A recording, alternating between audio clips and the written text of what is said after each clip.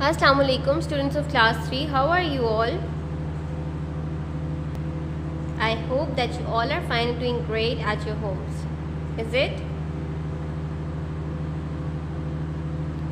So first of all tell me how was your weekend?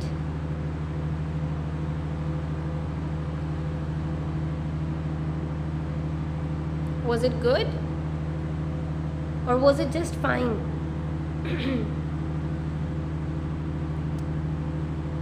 and do share the activities that you do on weekend. ठीक है? आप लोग मेरे साथ मेरे साथ अपनी जौन सी हैं, वो एक्टिविटीज़ भी शेयर कर सकते हैं जो आप लोग वीकेंड पे करते हैं। तो it it will be fun and it will be a good interaction between the teacher and the student do you agree that's great चलें let's start day's lesson with the date and day what is the date today yes, today is 8th of June 2021 and what is the day today? It's Tuesday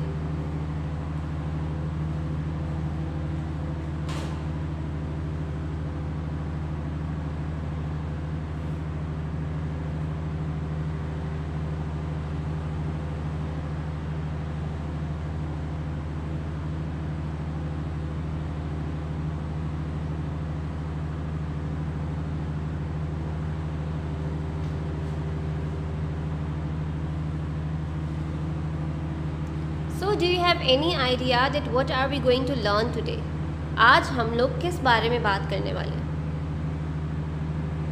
hmm?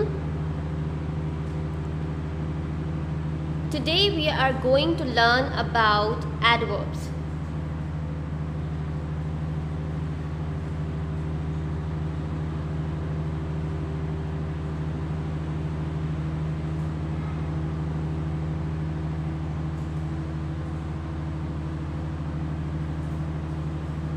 If you remember, um, in the past few days हम लोगों ने adjectives के बारे में learn किया था We learned about adjectives के adjectives क्या होते हैं how are they linked with nouns उसी तरह आज हम बात करेंगे कि adverbs क्या होते हैं और ये किन चीज़ों से linked होते हैं ठीक है जिस तरह से हमने बात कि adjectives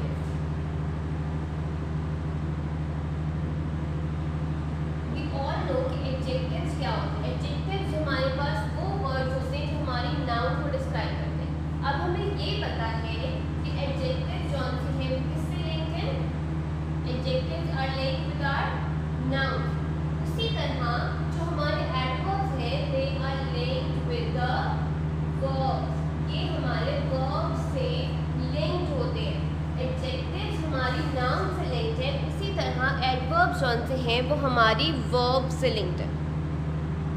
सो so, जिस तरह हमें एडजेक्टिव्स करने के लिए ये पता होना चाहिए कि नाउन्स क्या होते हैं उसी तरह एडवर्ब्स करने के लिए हमें ये पता होना चाहिए कि वर्ब्स क्या होते हैं। ठीक है?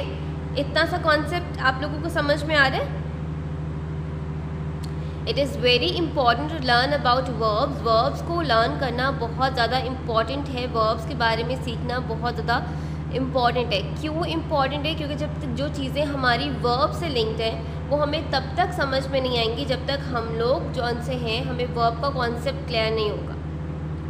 तो जिस तरह अब एडवर्ब्स का कॉन्सेप्ट हमारी वर्ब के कॉन्सेप्ट से लिंक्ड है। तो जब तक हमें वर्ब का कॉन्सेप्ट क्लियर नहीं होगा, हम एडवर्ब को जौन सा है अंडरस्टैंड नहीं कर सकेंगे।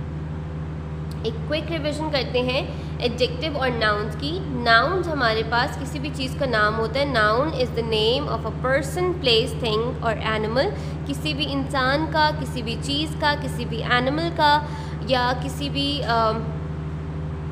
पर्सन uh, का जो नाम होता है किसी जगह का जो नाम होता है उसको हम नाउन कहते हैं। अब एडजेक्टिव्स हमारे पास वो वर्ड्स हैं जो नाउन को डिस्क्राइब करते हैं। Adjectives are the words that describe the noun अब एडजेक्टिव किसको डिस्क्राइब कर रहे हैं हमारे? नाउन्स को। उसी तरह एडवर्ब्स हमारे पास वो वर्ब्स हैं जो हमारी वर्ब को डिस्क्राइब करते हैं। अब इसके लिए आपको पता होना चाहिए कि वर्ब क्या होता है। So let's start with the concept of verb okay adjective और नाउन सबको क्लियर है ना? अब हम बात करेंगे किसकी? We going talk about the verb so let's start Like we all know that what is a verb? A verb is an action word. Verb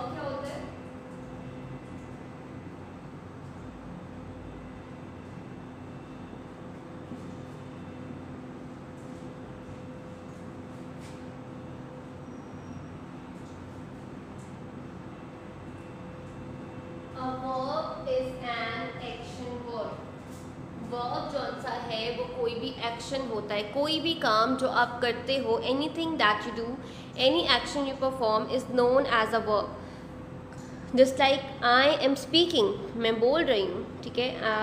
you are sitting आप बैठे हुए हैं you are thinking you are writing you are reading any activity, any kind of movement, any kind of action that you do is known as a verb. कोई भी चीज़ जो आप कर रहे हैं इज़ अ verb. तो हमने बात की कि एडवर्ब्स वो होते हैं जो हमारी वर्ब को डिस्क्राइब करते हैं। Adverbs describe the verbs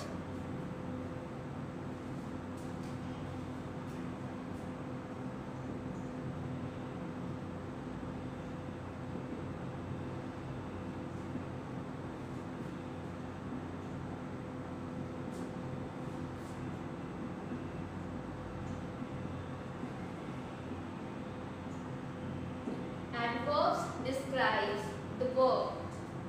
Adverbs describe the verbs.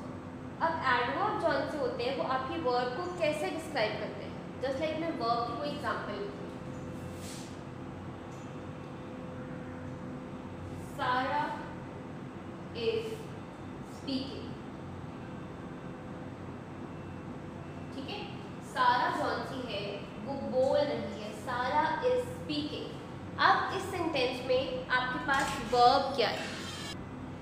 so first of all you have to identify the noun in the sentence Sara is speaking so what is the noun in the sentence इस sentence में noun क्या है excellent ताहा सारा is the noun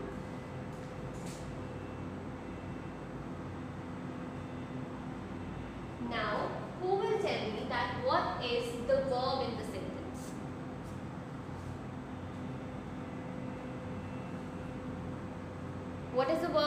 sentence? Well done, Ibrahim. Speaking is the verb.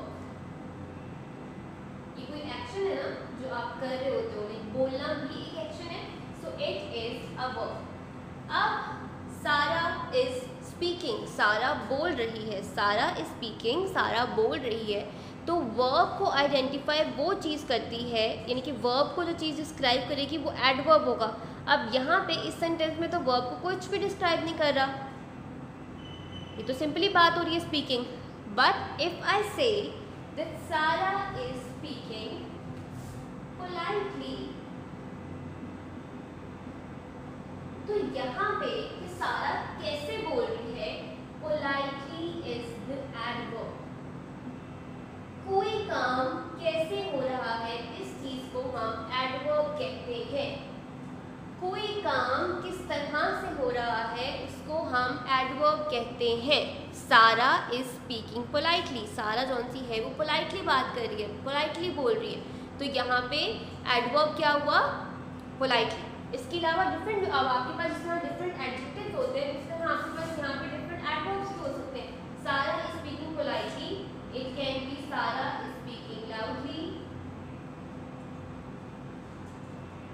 ठीक है? Loudly भी हो सकता है। अब लाउडली भी यहाँ पे क्या है? Loudly is also the slowly slowly is the adverb Sara is speaking fastly fastly is the adverb तो कोई चीज़ किस तरह से हो रही है? कोई काम आप कैसे कर रहे हैं? Is known as an adverb of manner जिसमें आपको ये चीज़ पता चल रही हो कि कोई काम किस तरह से हो रहा है। How a action is taking place is known as adverb of manner ठीक है? Adverb of manner just like discussed adverb की हमारे पास फोर काइंड होती हैं. Adverb of manner time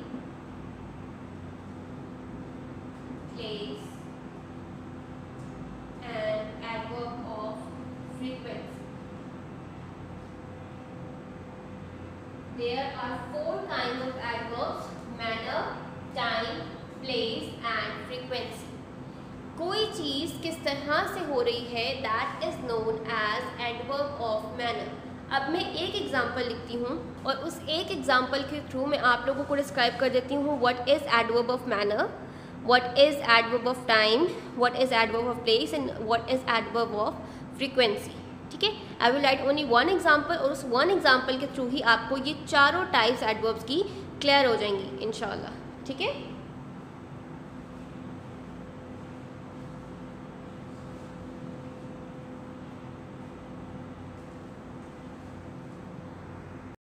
So before moving towards example, you should know कि adverb of manner time place और frequency को आप आइडेंटिफाई कैसे करते हो। आपको कैसे पता चलेगा कि कहाँ पे एडवर्ब ऑफ़ मैनर की बात हो रही है? कैसे पता चलेगा कहाँ पे एडवर्ब ऑफ़ टाइम की बात करें? कहाँ पे हम प्लेस की बात करें और कहाँ पे हम फ्रीक्वेंसी की बात करें? दे आर फ्यू वर्ड्स जिनके बारे में हम ऑलरेडी जानते हैं। अब अगर कोई चीज़ आपके पास डिपेंड कर कि कोई चीज़ कैसे हो रही है? हाउ एनीथिंग इज़ हैपनिंग तो वो होता है एडवर्ब ऑफ़ मैनर ठीक है? टाइम होते जब आप वेन इस्तेमाल करते हैं। वेन यानी कि कब? आपको जब टाइम का पता चलना होता है कि हम लोग सिंपली कहते हैं ना when are you coming when did you go आप कब गए? आप कब आए? ठीक है? तो जब वहाँ पे आप टाइम की बात कर रहे होते हो व्हेन व्हेन आपके जो सेंटेंसेस में आ जाता है, कब टाइम आ जाता है तो वो होता है एडवर्ब ऑफ़ टाइम जहाँ पे आप टाइम डिस्क्राइब कर रहे हो तो कोई चीज़ किस वक्त हो रही है व्हेन समथिंग इज़ हैपनिंग तो that is known as the adverb of time ठीक है? जब हम बात करते हैं प्लेस की तो प्लेस में आ जाता है वेयर कोई चीज़ कहाँ पे हो रही है? ठीक है? वेयर आर यू गोइंग आप कहाँ जा रहे हो? ठीक है? Where is the festival festival कहाँ हो रहा है? तो कोई चीज़ कहाँ पे किस तरह से हो रही है? This is known as adverb of manner time and place आप सबको इस बारे में पता होना चाहिए कि एडवर्ब ऑफ़ मैनर टाइम और प्लेस क्या होता है? जहाँ पे आप बात कर लेंगे हाउ यानी कि कोई चीज़ कैसे हो रही है that is known as adverb of manner कोई चीज़ कब हो रही है? That is adverb of time and कोई चीज़ कहाँ हो रही है? That is adverb of place अब the last thing is adverb of frequency frequency का मतलब होता है कि कोई चीज़ कितनी दफ़ा हो रही है। हाउ मैनी टाइम्स ठीक है? हाउ ऑफन कोई चीज़ कितनी दफ़ा हो रही है, उसको हम कहते हैं एडवर्ब ऑफ़ फ्रीक्वेंसी जिसमें हम ये डिस्क्राइब करते हैं, कोई काम कितनी दफ़ा हो रहा है। Just like I eat twice a day मैं दिन में दो दफ़ा खाना खाती हूँ, ठीक है? आई ईट वंस अ डे मैं दिन में सिर्फ़ एक टाइम खाना खाती हूँ। कुछ लोग होते हैं, दिन में तीन दफ़ा खाना खाते हैं।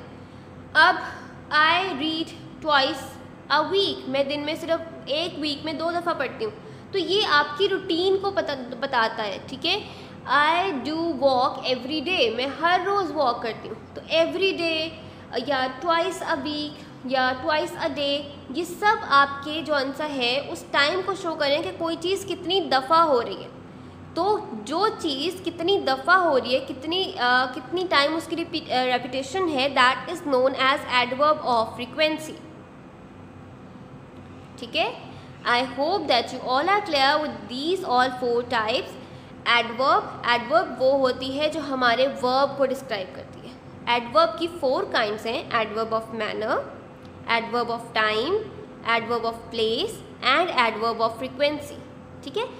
इसी तरह वो चीज़ जो आपको ये बताए कि कोई चीज़ किस तरह से हो रही है, वो होती है एडवर्ब ऑफ़ मैनर जो आपको ये बताया कि कोई चीज़ कहाँ हो रही है that is adverb of time sorry that is adverb of place कोई चीज़ कब हो रही है that is adverb of time और कोई चीज़ कितनी दफ़ा हो रही है that is adverb of frequency अब हम एक एग्ज़ाम्पल लेते हैं और उसके थ्रू हम ये चारों चीज़ें जो सी हैं, वो चारों टाइप्स उसकी सॉल्व करते हैं, इसको क्लियर करते हैं।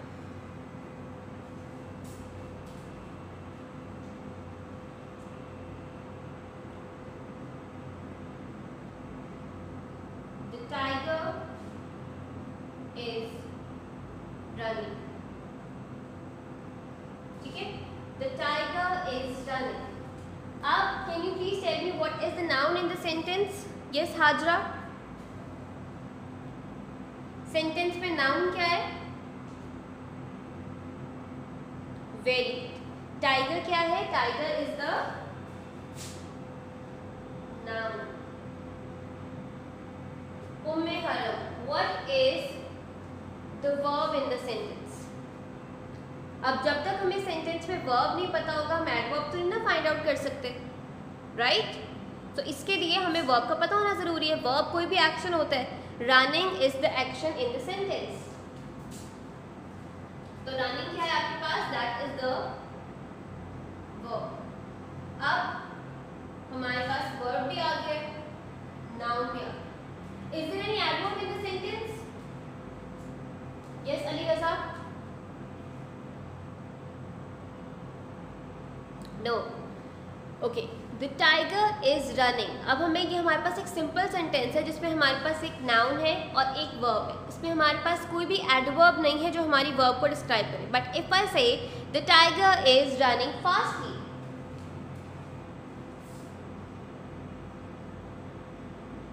ठीक है the tiger is running fastly तो अभी फास्टली क्या हो गया fastly is the adverb very good Fatima the tiger is running fastly इसमें फास्टली क्या है आपके पास? एडवर्ब अब हम बात कर, ये टाइगर हमारा किस तरह से भाग रहा है? ये चीज़ हमें बता रही है कैसे कोई चीज़ हो रही that is showing us the manner the tiger is running fastly shows us the adverb of manner ये सेंटेंस हमारे पास कौन सा है? एडवर्ब ऑफ़ मैनर फास्टली क्या है हमारे पास? एडवर्ब ऑफ़ मैनर अब अगर हम कहें the tiger was running yesterday. The tiger was running yesterday. कि जो टाइगर है, वो कल भाग रहा था। अब yesterday हमारे पास क्या हुआ? Yesterday is also an adverb yesterday हमारे पास क्या है? यस्टरडे भी हमारे पास एडवर्ब ही है। क्यों? क्योंकि ये हमारी वर्ब को डिस्क्राइब करता है टाइगर भाग रहा था। लेकिन कैसे? कब?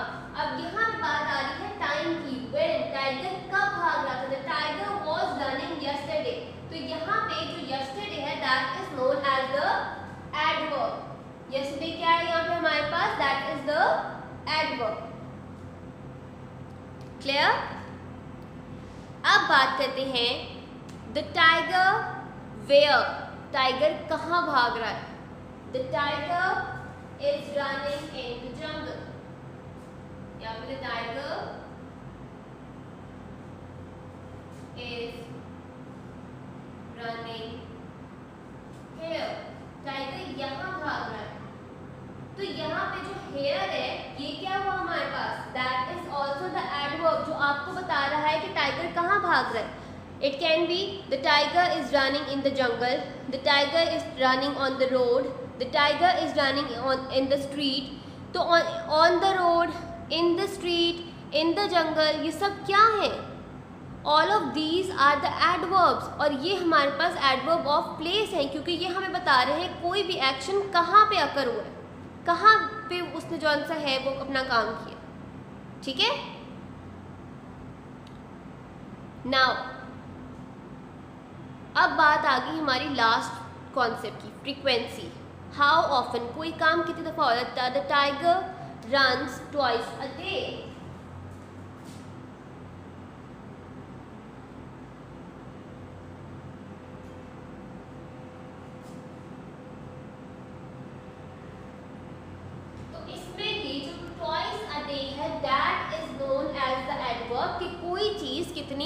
दफ़ा हो रही है।